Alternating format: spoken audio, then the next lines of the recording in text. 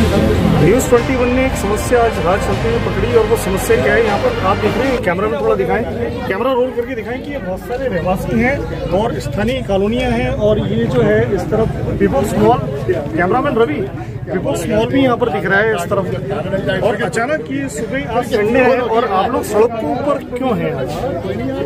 आज सुबह हम लोग अपने अपने मार्गों से जैसा रोज सवेरे जो रूटीन रहती है, वहीं जा रहे थे। हमने अचानक देखा कि यहाँ कोई अतिक्रमण करके मार्ग को बाधित कर रहा है, मार्ग पे कब्जा कर रहा है।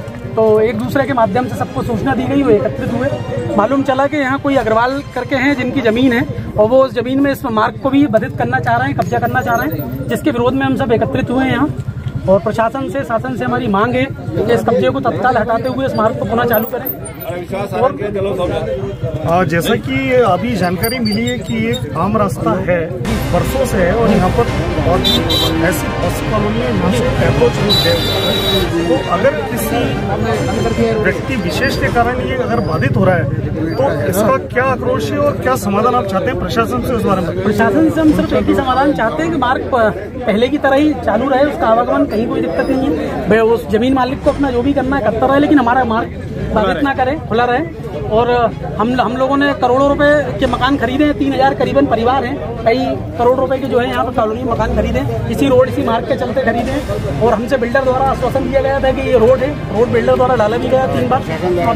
और और इसमें बाकायदा आप देखें, पूरे सरकारी खंभे वगैरह सब लगे हुए हैं। अब अचानक से आके कोई ज़मीन इस पर कब्जा करना चाहता है इस रोड पर ये हम होने नहीं देंगे। उसके लिए हमें अपने आंदोलन को जिस स्तर पर ले जाना पड़ेगा, ले जाएँगे। भूख हड़ताल करनी पड़ेगी, करेंगे। लेकिन ये मार्ग हम बाधित नहीं होने देंगे।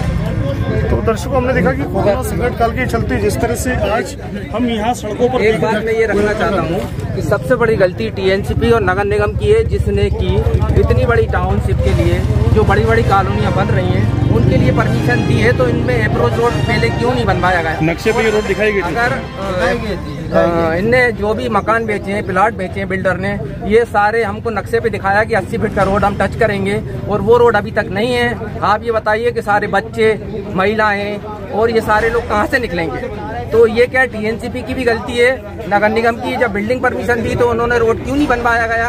और जो मार्टगेज करे थे प्लॉट उनको क्यों छोड़ा गया बिल्डर से? ये सब चीज़ें हैं उत्तरदायित्व किसका है? पब्लिक किसके पास जाए आखिर ये बताया जाए पब्लिक समाधान चाहती है।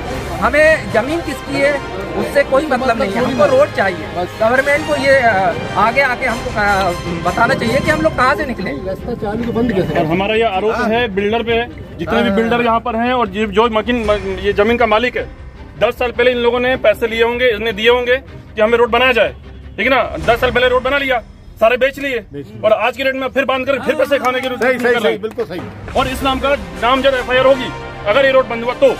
और सबके नाम से होगी जो जितने बिल्डर हैं जितने टीएनसीपी अप्रूवल दिया है और इस मकान जितने भी ज़मीन मालिक हैं और जो उसका खरीदना चाहते हैं जो बेचना चाहते हैं ज़िंदगी भर ये ज़मीन बिक नहीं पाएगी अगर ये रोड बंद हुआ तो।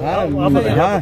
मेरा सवाल ये है जो ज़मीन ऑनर है उसने बिना परमिशन के बिना किसी चीज़ ये बनने कैसे दिया? ये बनने कैसे दिया? हुआ है दस साल पहले क्यों हाँ, दिया? ये जब आज है ये तो? डामर रोड बनने कैसे दिया? तभी आपत्ति लगा लेनी थी आज तक है आपत्ति लगा ली। हाँ तब ये बिल्डर सो गए थे। क्या डामर रोड कैसे बनने दिए मकान का मालिक सो गया था, ये- मर गया था। हाँ ये मेरा मालिक को तभी तभी बंद कर देता हाँ और शिवराज जी आप देख रहे हो तो आप भी समझ लेना ये समस्या जो है इसका निराकरण यथावत करा दीजिए।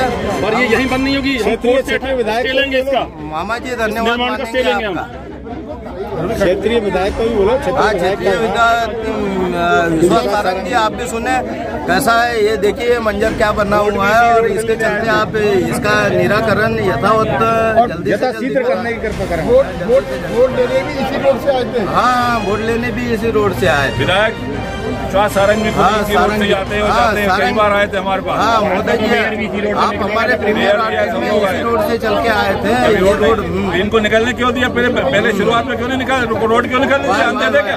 रीजन है साहब रीजन है। तो निश्चित तौर पर दर्शकों हमने देखा कि जलन समस्या आज भी बनी हुई है लगातार और पूरन कासा और स्थानीय कॉलोनी के बहुत से नागरिक आज सड़कों पर हैं कैमरा में दिखाई किस तरह से यहाँ पर आज संडे सुबह का दिन छुट्टी का दिन कहते हैं। इसको एक रास्ते को लेके विवाद लगातार यहाँ पर बन रही है, जिस तरह से हमने अभी इसको दिखाया है। निश्चित तौर पे इस समस्या का समाधान कैसे होगा, कौन करेगा और जिम्मेदार कौन है? न्यूज़ 21 के लिए मैं social activist Atul Malvi camera person Ravi के साथ।